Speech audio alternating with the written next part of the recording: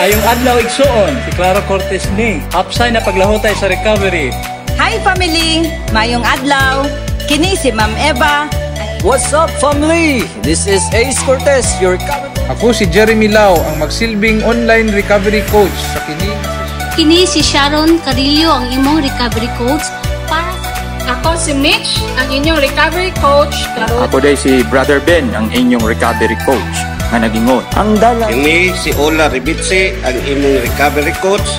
Kini si Sir Bong, ang inyong alagad sa kabag-uhan.